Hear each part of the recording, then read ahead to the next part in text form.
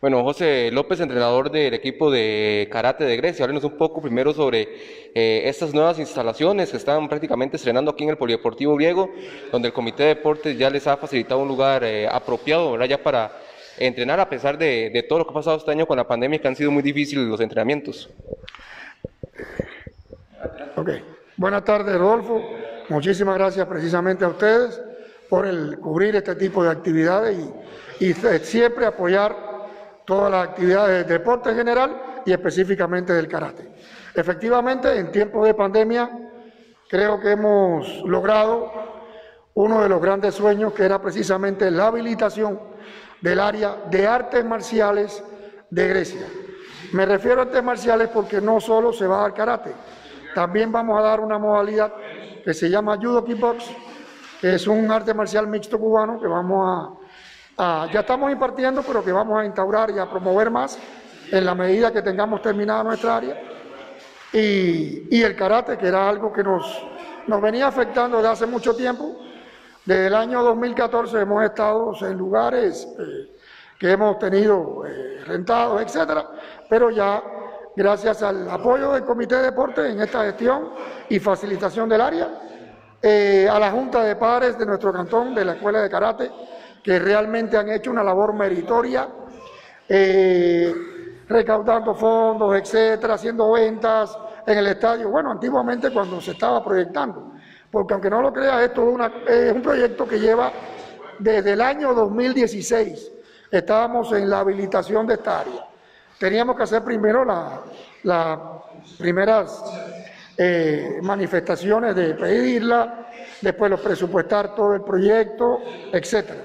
Y todo eso se ha logrado con la Junta de Padres, el apoyo del Comité de Deporte de Grecia y en especial de una empresa griega, Importaciones Vega, que ha sido la madrina de esta área de karate y que realmente nos ha ayudado con materiales en todos los sentidos y tenemos que, que reconocer el gran, el gran aporte que nos han hecho esa empresa y que nos sigue aportando en este momento.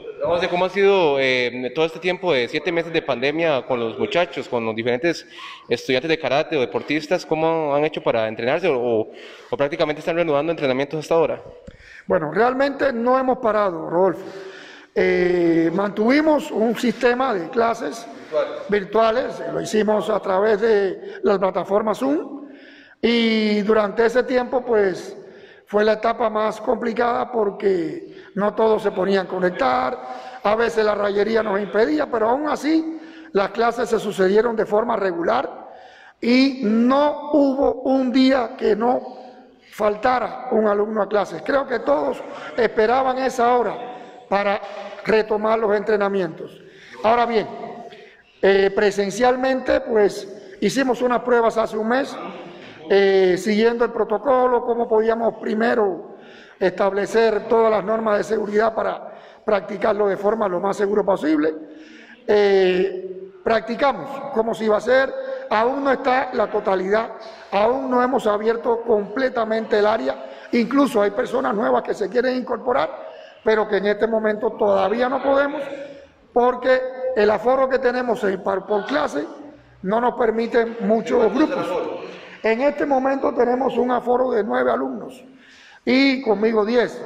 Entonces, eh, tenemos que establecer grupos pequeños, establecer horarios para poder dar el servicio a, a todos los grupos.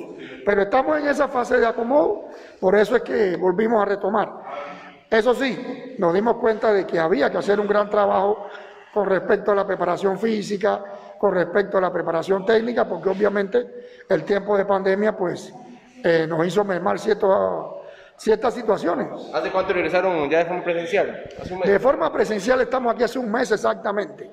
Eh, sí se ha visto rápidamente la recuperación desde el punto de vista técnico, la recuperación de la parte física o el comienzo de la etapa de preparación física general, que es la que correspondía eh, en esta etapa de acuerdo a los próximos eh, Juegos Nacionales. Porque el, el, sistema de entrenamiento nuestro, Rodolfo, tiene una consecución de acuerdo a los Juegos Deportivos Nacionales que se celebran acá.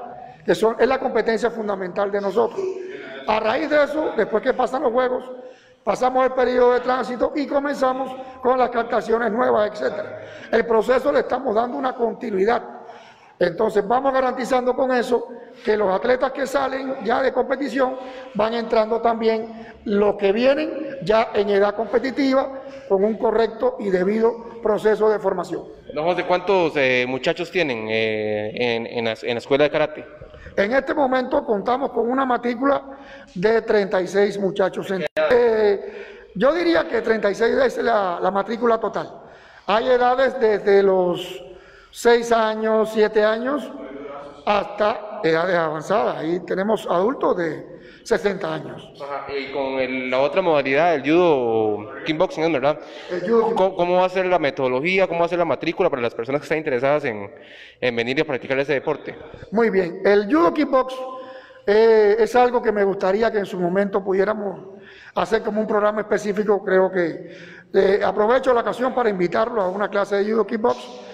El, la indumentaria es diferente y la base del judo kickbox, como lo dice su nombre, es el cross en judo. Eh, en Grecia creo que en este momento no había ni incluso ninguna escuela de judo. El judo kickbox es un arte marcial mixto. Eh, no tiene el sistema de katas que tiene el karate. Es, va directo a técnicas enfocadas en la defensa personal y en la pelea MMA. Eh, tiene un programa. ¿Qué es la pelea MMA? Ok, la pelea de MMA es, comienza desde la parte alta hasta que termina el derribo, la proyección del individuo y la estrangulación o la técnica de luxación o la técnica de inmovilización en el piso. Vale destacar que en el judo kickbox sí se permite el knockout. Entonces, es una forma, está el knockout técnico y está el knockout físico. Entonces, es, un, es una arte marcial un poco más complicada, que lleva mayores medidas de seguridad y que eh, a ciertas personas que no les gusta pues la parte de karate por las catas, que pues es, le, le, queda más práctico y ha sido muy bien acogida por la ¿Y, población. ¿Y quiénes pueden participar o quiénes se pueden matricular? Todo el que desee. La matrícula está, no hay límite de edad, eh, Rodolfo, porque precisamente es una práctica que busca la educación física del individuo como tal. Eh, se hacen caídas, se hacen técnicas de derribo, como te explicaba, pero más que todo es buscar una actividad física para la población amena basada en, esos aspectos defensivos, por decirlo así, pero que pueda ser practicada por cualquier persona. Eh, no lo estamos trabajando de forma competitiva, lo estamos trabajando de forma tradicional.